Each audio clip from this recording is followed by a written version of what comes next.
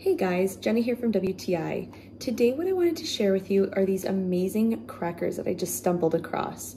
Now I have to eat a gluten-free diet um, and sometimes that can be challenging. Although there are tons of gluten-free options out there, it doesn't mean that they taste good.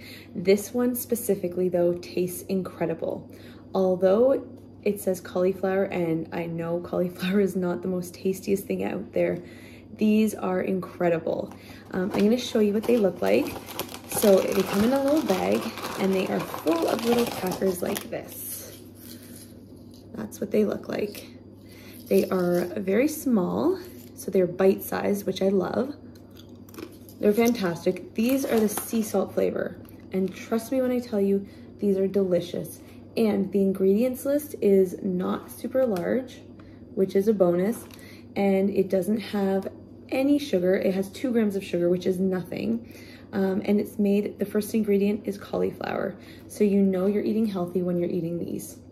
Definitely, if you are like me and you need to be on a gluten-free diet, I suggest highly, definitely grabbing yourself some of these. But that's just my point of view.